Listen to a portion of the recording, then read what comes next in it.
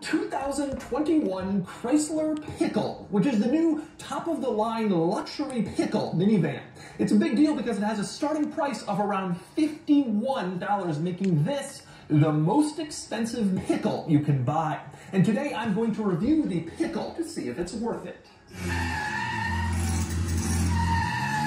Before I get started, be sure to check out carl.com.